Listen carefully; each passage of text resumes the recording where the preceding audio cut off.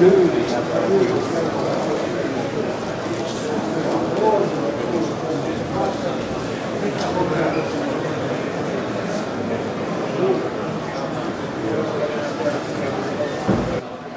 tip is always use flash. I use flash for 99% of my pictures, even in daylight. Um, very important to take away shadows, shadows from caps. It just boosts the colour, fills in,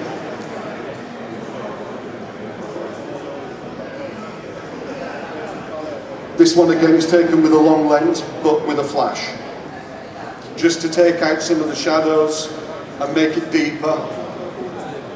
And of course, this is a longer exposure because I wanted more movement water, but to keep the, keep the actual image sharp. But it was absolutely the opposite here. The light was too strong. Take a, a regular picture, it would just burn out. So I had, I had to use, again, the opportunity, but this time he stood behind the sun and it works great. This, uh, this image has been on the cover of nine fly fishing magazine so far in the last two years. Looking for uh, a background when you photograph a fish. This was uh, this is probably my most sold image. I think it's been published 500 times. Since I took this picture in 94. So this is 20 years old, this picture, uh, on my first trip to the Kola Peninsula in Russia. It was a big trout, it had fantastic markings, but I was alone, so I didn't have anybody to hold the fish and the background was just perfect for it. And this, this image keeps on selling.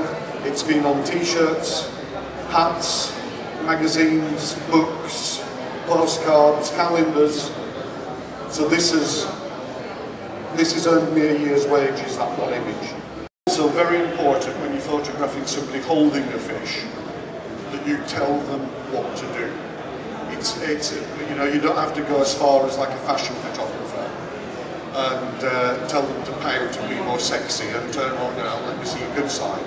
But it's important that you tell, you direct them. Some people are fabulous to direct, as they are in any kind of photography or film, and some people just can't do it. But if you help them, it's important that you, you, all the picture is balanced.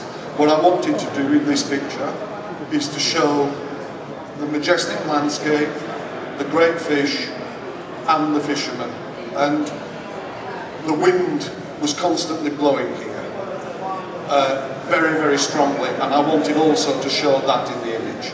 So you tell a, also tell a story with that picture. Tell a story. Again, this was a difficult picture because I was fishing alone. So I had the camera on a tripod and photographed myself with the fish. This was my first big char. And I took some photographs in order to get the light right with my net up. Because as you can see, there was a lot of flies and they were all biting. And after I got the light right, I had to drop the net, pick the fish up, but then the flies started coming in. And under my knee, I have a cable release because this was taken on a Hasselblad camera. So I had a cable release that I had to kneel on at the same time as pushing, uh, holding the fish and bearing the flies. But it worked. Again, this has been a great image for me. My time is up, but if you have any questions, I'll be happy to uh, answer them if you pop over to where I'm uh, tying flies. Thank you. Thank you very much.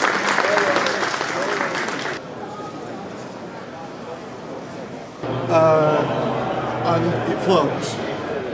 So when I'm wading or photographing in a lake and wading, I use that as my tripod because it floats and I can rest on it. Very useful.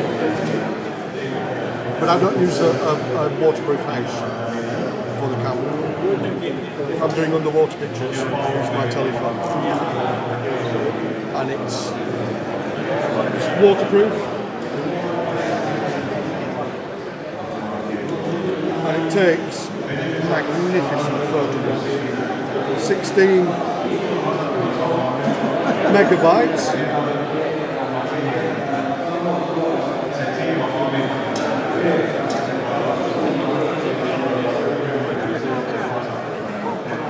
That's taken on the phone.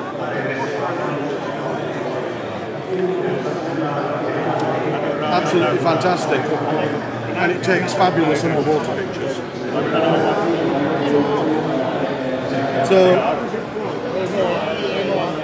when in need, it's possible to use it. But I don't, uh, I don't believe in protecting my cameras. I believe in using them for what they are. And the reason I use Canon is that you can knock nails in with them and they'll still be alright. Roughly. There's always a lot of water around when you're working. So. But I've never had a problem with it.